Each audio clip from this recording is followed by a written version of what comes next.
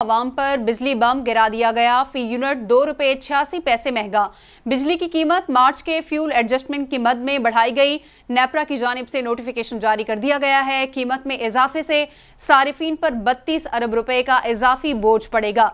नेपरा ने सीपीपीए की दरख्वास्त पर 27 अप्रैल को समाप्त की थी। कराची के सार्फिन के लिए भी बिजली एक रुपये अड़तीस पैसे महँगी कर दी गई। बिजली फरवरी के फ्यूल एडजस्टमेंट की मद में महँगी की गई है।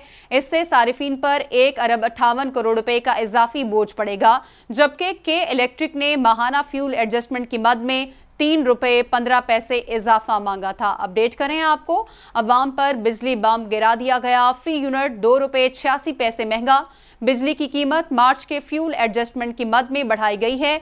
नेपरा ने नोटिफिकेशन जारी कर दिया है। कीमत में इजाफे से सारिफिन पर 32 अरब रुपए का इजाफी बोझ पड़ेगा। नेपरा ने सीपीपीए की दरख्वास्त पर 27 अप्रैल को समाप्त की थी।